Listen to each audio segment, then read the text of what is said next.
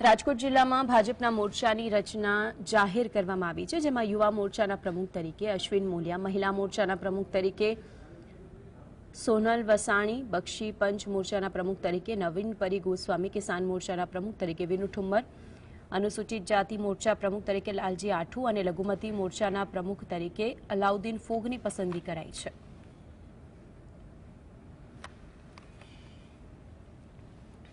સુરેન્દ્રનગર જિલ્લામાં તંત્રની બેદરકારીના પગલે લોકોને પીવાના પાણીમાંથી ત્રણ કિલોમીટર સુધી જવાનો વારો આવ્યો છે. લીમડી પંથકના ગળથલ નાની કઠેચી મોટી કઠેચી રાણાગઢ ગામને પીવાનું પાણી મળી રહે તે માટે વિઠ્ઠલગઢ ખાતે બાવીસ કરોડનો ખર્ચ કરી પાઇપલાઇન અને મિની સંપોનું નિર્માણ કરાયું.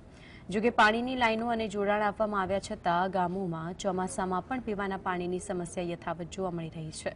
તંત્રની બેદરકારી અને લાપરવાહીના કારણે વીસ હજારથી વધુ લોકોને પાણી માટે વલખા મારવા પડે છે, ત્યારે પાણી સમસ્યાનો નિવેડો આવે તેવી માંગ ગ્રામજનો કરી રહ્યા છે.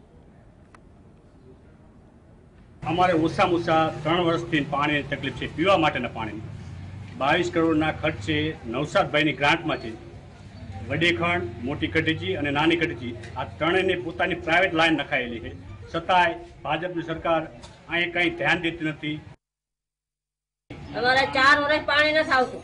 ચાર વર્ષ સગવડતા હોય પાણી નખાઈ શકે નો પાણી. સગવડતા હોય બિચારા શું કરે? નાવા ધોવાના એને ઘરેદાર કર્યા, ચાર, પાંચ પાંચ હજાર ના એ ખારું વગર જેવું પાણી નાવી ધોઈ છે. આ સંપનું કામ પૂર્ણ થતા ઓછામાં ઓછો છ મહિનાનો સમયગાળો થઈ ગયો હોવા છતાં આજ દિવસ સુધી આ સંપની અંદર નથી પાણી નાખવામાં આવ્યું કે આ સંપના મારફતથી આ ચારે ગામને હજુ સુધી પાણી આપવામાં આવતું નથી. અમારા ચારે ગામમાં પીવાના પાણીની બહુ મોટી સમસ્યા છે. રાજ્ય સરકારના ગૃહ વિભાગ દ્વારા બે આઈએએસ અધિકારીઓની બદલી કરાઈ, જેમાં એમડી પલસાણાને જોઈન્ટ સેક્રેટરી કૃષિ સહકાર વિભાગમાં તેમજ એન કે ગોવાને એમડી આરોગ્ય અને પરિવાર કલ્યાણ વિભાગમાં મુકાયા છે. એન કે ગોવાને કમિશનર ઓફ હેલ્થ અને મેડિકલ એજ્યુકેશનનો વધારાનો ચાર્જ પણ સોંપાયો છે. તો દિલ્હીમાં આવેલ પૂરના કારણે એશિયાની સૌથી મોટી ટેક્સટાઇલ માર્કેટ ગણાતા સુરત ટેક્સટાઇલ ઉદ્યોગ પર મંદીનું ગ્રહણ લાગ્યું. સુરતની ટેક્સટાઇલ માર્કેટનું કાપડ દેશના અલગ અલગ રાજ્યોમાં મોકલાય છે. જેના થકી સુરતના વેપારીઓને સારો એવો વેપાર મળી રહે છે. જન્માષ્ટમી સહિતના તહેવારોની સિઝનમાં કાપડ ઉદ્યોગના વેપારીઓની મુશ્કેલી દિલ્હીના પૂરે વધારી. દિલ્હીમાં આવેલ પૂરની સ્થિતિના પગલે સુરતના કાપડ ઉદ્યોગના વેપારીઓનું કરોડોનું પેમેન્ટ અટવાઈ પડ્યું છે.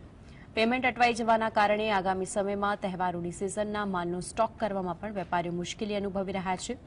પહેલાથી જ વેપાર ધંધો મંદગતિએ ચાલતો હતો, ત્યારે અન્ય રાજ્યોમાં મોકલવામાં આવેલ માલનું પેમેન્ટ અટવાઈ જતા વેપારીઓ માટે પડ્યા પર પાટું જેવી સ્થિતિ છે.